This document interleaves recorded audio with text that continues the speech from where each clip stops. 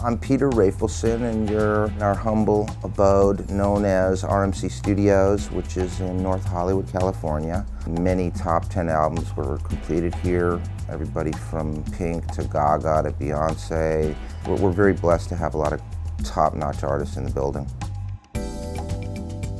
I was exposed at a very early age to the business of both music and media, and technology plays a big part in that.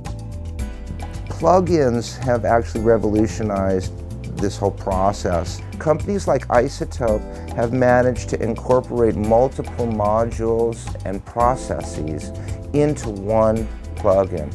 The ability to, to open up what is essentially a utility belt of modules, that's something great. We now have a session up with a fabulous artist, Toy Connor.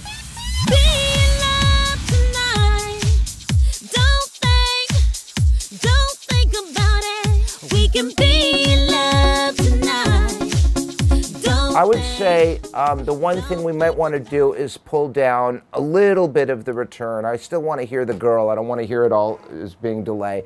So I might drag down the wet dry setting also, the presence, she, she's got a lot of presence in her voice already. I don't want it to sound too piercing, so I'll probably back down a bit on the presence. You can hear uh, really what a drastic, significant improvement it's made. This is flat.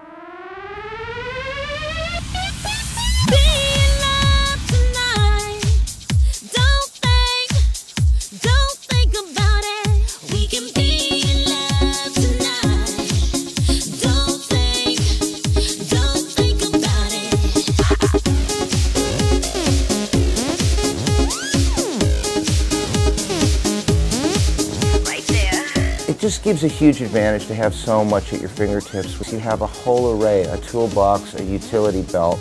It gives you a lot of power in one interface.